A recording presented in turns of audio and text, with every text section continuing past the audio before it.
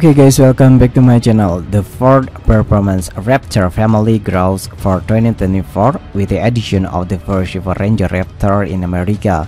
The Ford Ranger also get a full redesign this year and with the introduction of the Ford Ranger Raptor. Ford finally has a truck that can go head-to-head with the Komati Pro, Colorado ZR2 Bison, and Canyon AT4X AEV.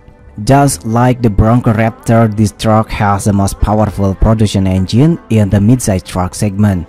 A 3.0-liter twin-turbo V6 pumping out 405 horsepower and 430 pound-feet of torque, and it is the only bolted V6 motor in its class.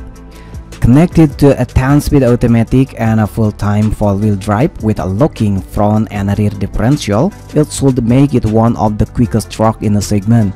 Of course, being a Raptor, is also needs to dominate off-road and with 33-in BF Goodrich K0380 tire, a lifted off-road suspension with a Fox Live Valve 2.5-inch shocks and up to 10.7 inch of ground clearance.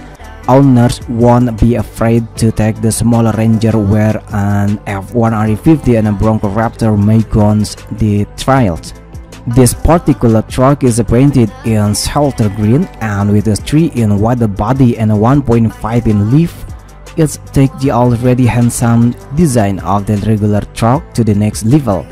Pricing for the Ranger Raptor began at just over 55,000 US dollar, but this truck with its optional beadlock capable wheels and graphic package bring the total to just under 60,000 US dollar. That is about 5,000 US dollar less than the last Canyon AT4X AEV we last tested and a whooping 25 to 35,000 US dollar less than an F150 and a Bronco Raptor.